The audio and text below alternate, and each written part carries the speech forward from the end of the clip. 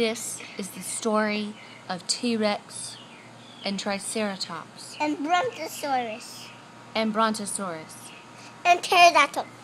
and Pterodactyl. pterodactyl. Okay.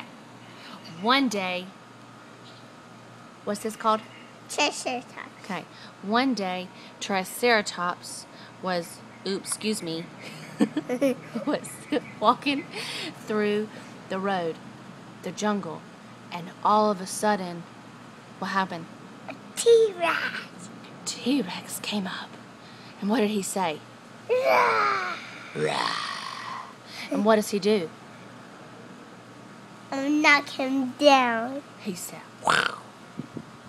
But Triceratops tries to fight back because he has what? Three horns. Three horns and a Sail. and a shield. But sometimes T-Rex is what? Faster. Faster and stronger. And, and the Brontosaurus hits him down. And then the Brontosaurus comes in and what happens? He swings him down. Yeah, and he has a big long tail and he swings him over. So who wins? Brontosaurus. He's the biggest.